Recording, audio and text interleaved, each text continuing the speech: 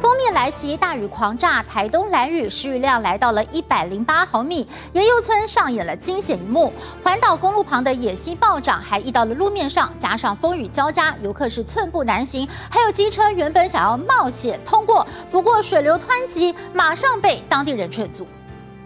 看到眼前这景象，众人傻了。环岛公路突然有暴涨野溪，洪水灌入，这里有水管啊！导游冒雨下车，使尽全力，双手用力扛起水管，往旁边奋力一丢，路通了。暴雨来袭，却把环岛公路一分为二，救援行动就此展开。居民拉大嗓门，就盼众人安全通过。